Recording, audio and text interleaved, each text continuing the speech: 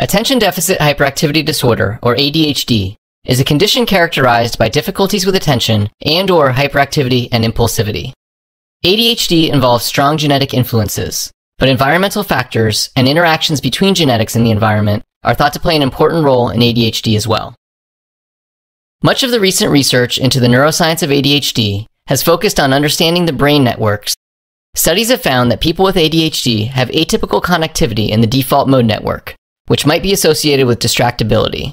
That in ADHD, activity in the default mode network is dysregulated and interferes with the function of networks involved in attention and cognitive control.